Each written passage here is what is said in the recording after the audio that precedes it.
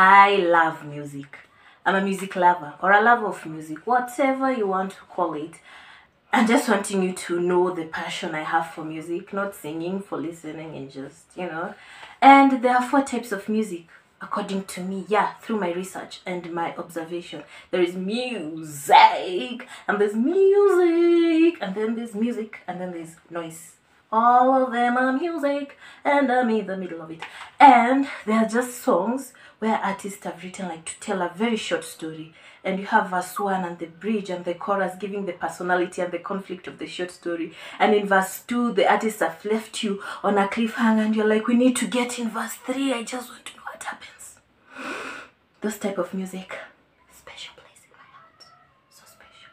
And then there's music that carry very deep emotion, you know, like the person who wrote it or the person who sings it has this deep emotion. You know, those are tricky ones because you can't be happily happy singing to a very sad song.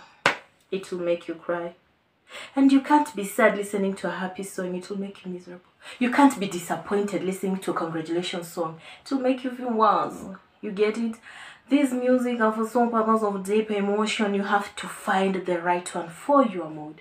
Then there's music that just wants you to move your body, jingle a little, shake it. Ooh, the rhythm and the beat just wants you to move. You know, dance and the good. Give that soul a good touch. Let me not just say about those.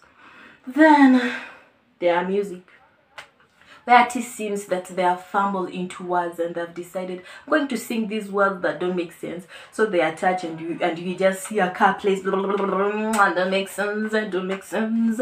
But they do make sense. All of those are music with a purpose and the sole purpose is to make you happy.